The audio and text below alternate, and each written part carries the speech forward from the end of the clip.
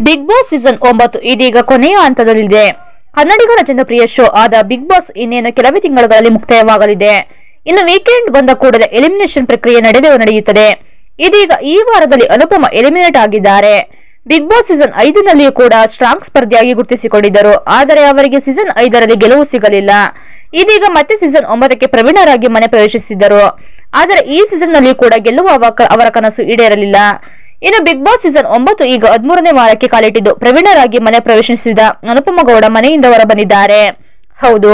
Strong ಸ್ಪರ್ಧಿಯಾಗಿ ಗುರುತಿಸಿಕೊಂಡ ಅನುಪಮ ಗೌಡ ಇದೀಗ ಮನೆಯಿಂದ out ಆಗಿದ್ದಾರೆ. ಈ ವಿಷಯ ಕೇಳಿದ ಅನುಪಮ ಅಭಿಮಾನಿಗಳು ಶಾಕ್ ಆಗಿದ್ದಾರೆ. ಕಿರುತೆರೆಯಲ್ಲಿ ಮಿಂಚಿದ ಅನುಪಮ ಸಾಕಷ್ಟು ಅಭಿಮಾನಿಗಳನ್ನು ಗಳಿಸಿಕೊಂಡರು ಅಕ್ಕ ಸೀರಿಯಲ್ ಮೂಲಕ ಅನುಪಮ ಮನೆ ಮಾತಾಗಿದ್ದರು. ನಂತರ ಬಿಗ್ ಬಾಸ್ ಸೀಸನ್ ಐದರಲ್ಲಿ ಸ್ಪರ್ಧಿಯಾಗಿದ್ದರು. ಆದರೆ ಬಿಗ್ ಬಾಸ್ ಸೀಸನ್ ಐದರಲ್ಲಿ ಅವರಿಗೆ ವಿಜಯ ದೊರಕಲಿಲ್ಲ. ಇದೀಗ ಮತ್ತೆ ಸೀಸನ್ ಒಂಬತ್ತರಲ್ಲಿ ಪ್ರವೀಣರ ಪೈಕಿ ಮನೆ ಪ್ರವೇಶಿಸಿದ ಸ್ಪರ್ಧಿಗಳಲ್ಲಿ ಅನುಪಮ ಗೌಡ ಒಬ್ಬರಾಗಿದ್ದರು. ಅನುಪಮ ಗೌಡ ಮನೆಯಿಂದ ಹೊರಗೆ ಬಂದಿರುವುದು ಅಭಿಮಾನಿಗಳಲ್ಲಿ ಬೇಸರ ಮೂಡಿಸಿದೆ. ಇನ್ನು ಅನುಪಮ ಗೌಡ ಮನೆಯಿಂದ ಹೊರಗೆ ಬಂದಿದ್ದು ಬಿಗ್ ಬಾಸ್ ಮನೆಯಲ್ಲಿ ಕೇವಲ ಎಂಟು ಜನ ಸ್ಪರ್ಧಿಗಳು ಉಳಿದಿದ್ದಾರೆ. ಇನ್ನು ಬಿಗ್ ಬಾಸ್ ಸೀಸನ್ ಒಂಬತ್ತು ಇದೀಗ ಕೊನೆಯ ಹಂತದಲ್ಲಿದ್ದು ಅನುಪಮ ಗೌಡ ಎಲಿಮಿನೇಟ್ ಆಗಿದ್ದಾರೆ. ಇದೀಗ ಅನುಪಮ ಗೌಡ ಬಿಗ್ ಬಾಸ್ ಮನೆಯಿಂದ ಹೊರಬಂದು ಭಾರಿ ಮೊತ್ತದ ಸಂಭಾವನೆ ಪಡೆದಿದ್ದಾರೆ ಎನ್ನಲಾಗುತ್ತಿದೆ. ವಾರಕ್ಕೆ ಇಪ್ಪತ್ತು ಸಾವಿರ ಲೆಕ್ಕದಲ್ಲಿ ಎರಡು ಲಕ್ಷದ ಅರವತ್ತು ಸಾವಿರ ಸಂಭಾವನೆ ಪಡೆದುಕೊಂಡಿದ್ದಾರೆ ಎಂದು ಮೂಲಗಳಿಂದ ತಿಳಿದು ಬಂದಿದೆ. ಇದೊಂದು ಅಂದಾಜು ಸಂಭಾವನೆ ಆಗಿದ್ದು ನಿಖರವಾದ ಸಂಭಾವನೆ ತಿಳಿದು ಬಂದಿಲ್ಲ. ಹೌದು ವೀಕ್ಷಕರೇ. ಹಾಗಾದ್ರೆ ಈ ವಿಡಿಯೋ ಇಷ್ಟ ತಪ್ಪದೆ ಕಮೆಂಟ್ ಮಾಡಿ ಶೇರ್ ಮಾಡಿ.